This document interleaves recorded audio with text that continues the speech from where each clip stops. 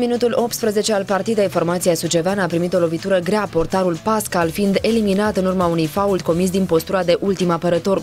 Singurul gol al partidei a fost marcat în minutul 56, când Oniu a transformat o lovitură de pedapsă acordată în urma unui hands comis de gazdă. Oaspeții își puteau dubla avantajul cu 10 minute înainte de final, când Semeghin a fost faultat în suprafață de pedapsă, iar Oniu a ratat penaltiul.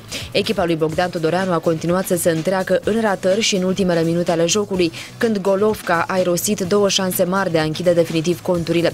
Scor final 1-0 și rapidiștii suceveni rămân alături de trioul fruntaș al seriei, cu trei etape rămase de jucat până la pauza de iarnă.